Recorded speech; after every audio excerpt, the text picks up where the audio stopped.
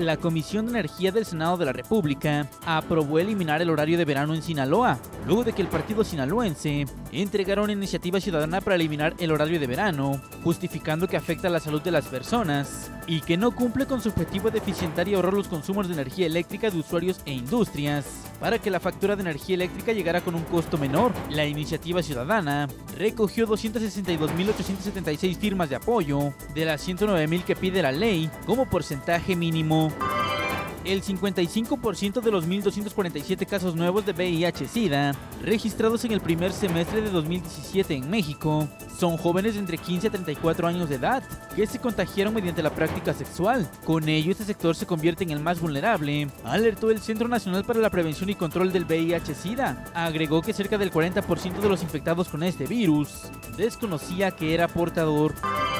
De acuerdo con datos de una nueva encuesta realizada por el Universal, después del destape de José Antonio Meade como candidato del PRI a la presidencia de la República, Morena continúa a la cabeza con el 24% de la preferencia electoral, seguido del PAN con el 18% y el PRI con el 16%.